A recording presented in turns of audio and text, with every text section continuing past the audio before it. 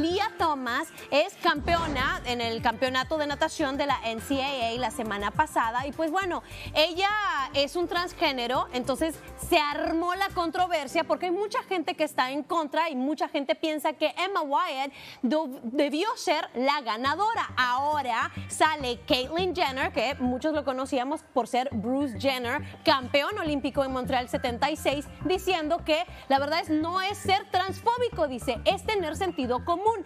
Ella no debió ganar la competencia, sino Emma, la que quedó en segundo lugar. ¿Like o no like? Yo le voy a dar super like porque si hay alguien que puede hablar sobre el tema es evidentemente Caitlyn Jenner, no solamente porque es transgénero, sino también porque es campeón olímpico. Él entiende la diferencia que hay entre las capacidades de un hombre y una mujer. Pongámoslo como sea, realmente el hombre va a tener más fuerza y más capacidad a la hora de, de, fuerza, de cosas, eh, eh, de, competir. exactamente, es la palabra eh, adecuada. Entonces yo por eso le voy a dar super like, porque si hay alguien que puede hablar es Caitlyn Jenner y yo tampoco estoy de acuerdo con que un transgénero compita en una categoría de mujeres. Esta es una competencia física, no es una competencia mental, ¿no? Y la verdad es que a mí el tema sí me da mucha lástima. Yo creo que ustedes saben que yo amo los deportes y sí he visto a muchos atletas que de verdad están preocupados porque dicen, una de ellas es Jasmine Camacho Quinn, que yo la respeto demasiado, medallista, de oro olímpico con récord olímpico, incluso la boricua.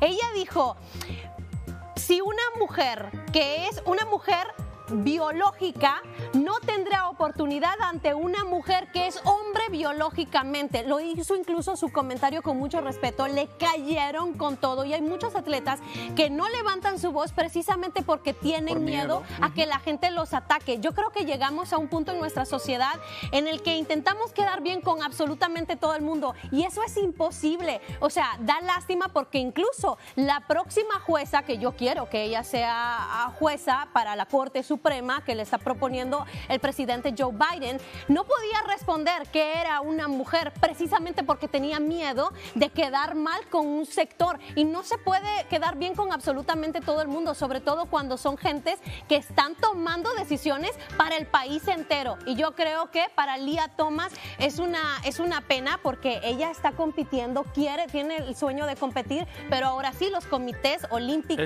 y todos tienen que ver cómo organizan algo para que todos puedan tener un mundo no más inclusivo. Y yo realmente no la culparía a ella porque ella está siguiendo las reglas y realmente es lo que le permiten a ella. Yo más bien NCAA que realmente permitió eso y son los comités los que tienen que tomar cartas en el asunto. Yo ya, ya le dimos no like, señores.